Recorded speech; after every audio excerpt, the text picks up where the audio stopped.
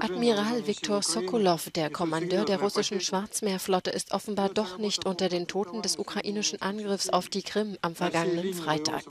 Ein am Dienstag vom russischen Verteidigungsministerium veröffentlichtes Video zeigt Sokolov unter den Anwesenden einer Videokonferenz des Ministeriums unter der Leitung von Verteidigungsminister Sergei Shoigu. Am vergangenen Freitag hatte die Ukraine das Hauptquartier der russischen Schwarzmeerflotte in Sevastopol mit Marschflugkörpern und Raketen angegriffen und behauptet, dass durch den Angriff 34 russische Offiziere, darunter Sokolov, getötet wurden. Nach dem Auftauchen der Bilder aus Moskau hat die Ukraine angekündigt, die Information noch einmal zu überprüfen.